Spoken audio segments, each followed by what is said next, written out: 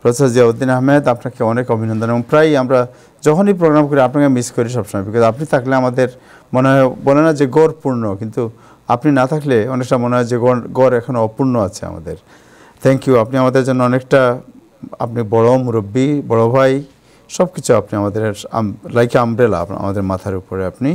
যাই হোক, আপনাকে একটা প্রশ্ন করি, সেটা হচ্ছে যে অনেক সুন্দর সুন্দর সাবজেক্ট আছে। এর মধ্যে একটি সাবজেক্ট আজকে দেখলাম যে আমরা সবাই রাগ করি, মারামারি করি, ঝগড়াঝাটি করি, রাগের মধ্যে সব হয়।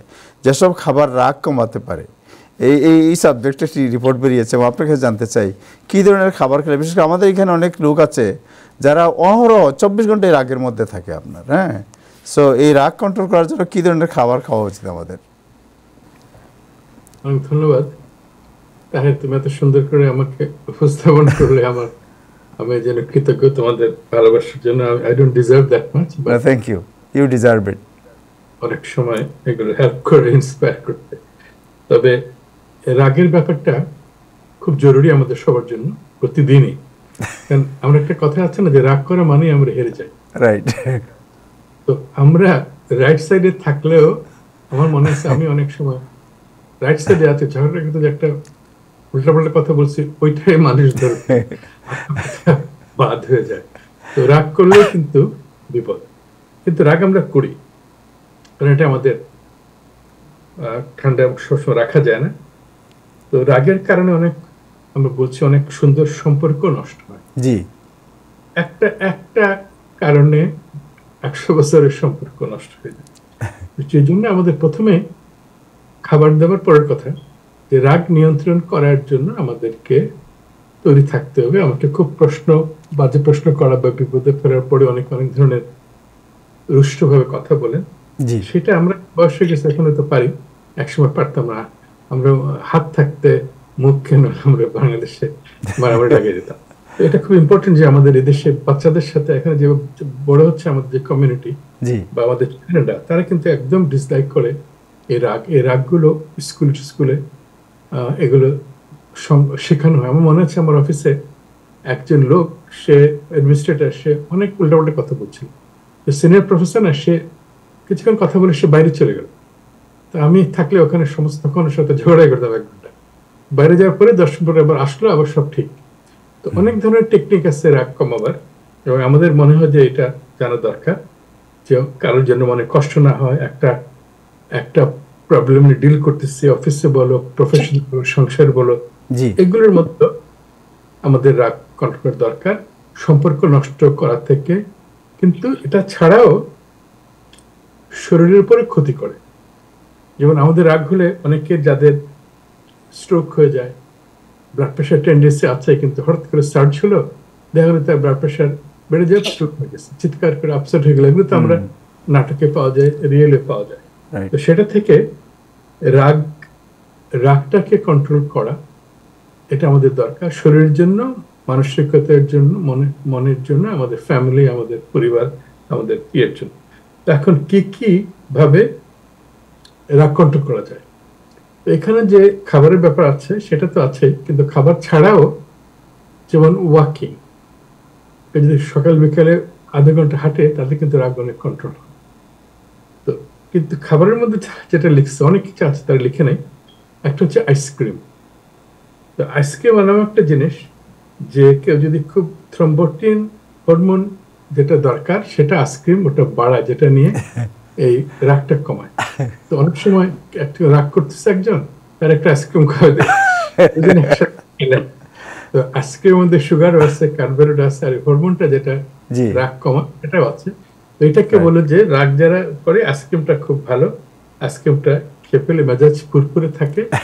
একটা হচ্ছে আইসক্রিম আচ্ছা। দুই নম্বরটা বলছে চকলেট কোন চকলেট ডার্ক চকলেট যে আচ্ছা। চকলেটের মধ্যে সেভেন্টি ফাইভ পার্সেন্ট কোকো থাকবে। কোকো পাউডার না কিন্তু। রিয়েল কোকো চকলেট থাকবে। চকলেট না ডার্ক চকলেট এটা দেখা গেছে যে ডার্ক চকলেটের মধ্যে এমন সব হরমোন আছে যেটাতে দেখা গেছে যে অ্যাংজাইটিটা কমায়। রাগটা কমায়। কলার মধ্যেও ভাইটামিন বি আছে পটাশিয়াম আছে। কলাও যদি কেউ এভরিডে খায় তাতে তারা বলছে যে ওই অ্যাংজাইটি হয়ে গেলে ফট করে মেজাজ খারাপের যে পর্যায়টা সেটা কলা খেলেও কমে আপেল খেলেও কমে পিনাট বাটার দিয়ে আপেল। তাছাড়া আলুও দেখা গেছে যে যদি সকালে কেউ একটু আলু সিদ্ধ করে খায় আলুর মধ্যে এমন সব জিনিস আছে কার্বোহাইড্রেট ছাড়াও এটাতে স্ট্রেস কমায়। চায়ের মধ্যে ডার্ক চা ভালো কফি আবার কমায় না কিন্তু চাটা কি ইম্পর্টেন্ট কিন্তু চার মধ্যে আবার গ্রিন টিটা যেটা সেটা খুব ভালো। গ্রিন টি খেলে অনেক সময় মাথা ঠান্ডা থাকে আর মনোযোগটা কাজে মনোযোগ বাড়ে। এগুলো হচ্ছে এই তুমি যেটা ওটা এটার মধ্যে। তাছাড়াও যেটা আছে সেটা হচ্ছে যে ফ্যাটি ফিশ যে ফিশের মধ্যে ওমেগা থ্রি ফ্যাটি আছে। আমাদের এখানকার স্যালমন ম্যাকারল এসব। আমাদের ফ্যাটি ফিশ আমাদের পাঙ্গাস, মাহাসার আমি ওটা ওমেগা থ্রি ফ্যাটি আছে। ফ্যাটি ফ্যাটি ফিশটা দেখা গেছে যে হেল্প করে এই ইয়ে কমাবার জন্য। কিন্তু মোস্ট ইম্পর্টেন্ট হচ্ছে যে মেন্টালি চলাফেরা মানে এক্সারসাইজ করা ভেরি ইম্পর্টেন্ট এক্সারসাইজ করা। আর হচ্ছে যে avocado chia seeds bean even লেন্টিলের কথা আছে মানে ডাল। জি জি।